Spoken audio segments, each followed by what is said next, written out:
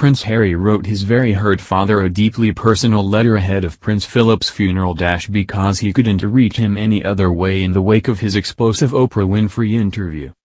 Prince Harry wrote his father a deeply personal letter in which he promised to respect the institution before he flew back to the UK for the Duke of Edinburgh's funeral. The Duke of Sussex, 36, penned the note to Prince Charles after their relationship hit rock bottom in the wake of his explosive Oprah Winfrey interview with Meghan Markle last month. His decision to reach out to his father also came after he accused Prince Charles of refusing to take his calls.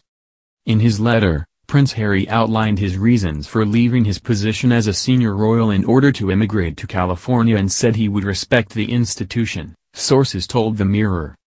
The Duke of Sussex, who decided to reach out to his father as he prepared to reunite with his family for the first time after stepping back as a senior royal, was forced to write letters after a complete communication breakdown with Prince Charles, sources claim.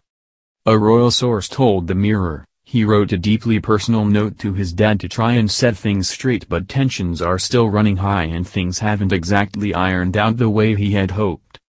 There had been a kind of unspoken agreement between everyone to park whatever has been on each person's mind, and solely concentrate on supporting the Queen ahead of Prince Philip's funeral.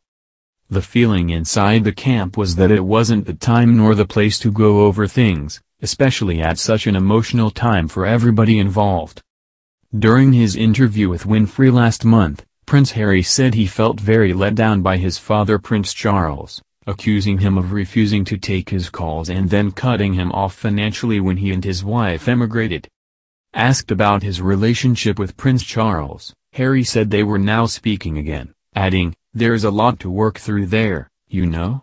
I feel really let down, because he's been through something similar. He knows what pain feels like, and Archie's his grandson. I will always love him, but there's a lot of hurt that's happened and I will continue to make it one of my priorities to try and heal that relationship.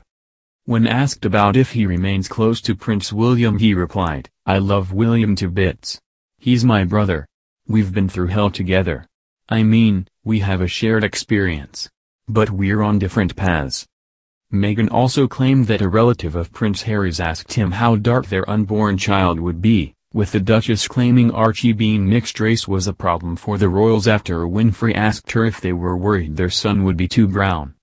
The former suit star said she would not name the person because it would be too damaging for them but she confirmed that the Duke was asked the question dash how dark his skin might be when he's born dash by family.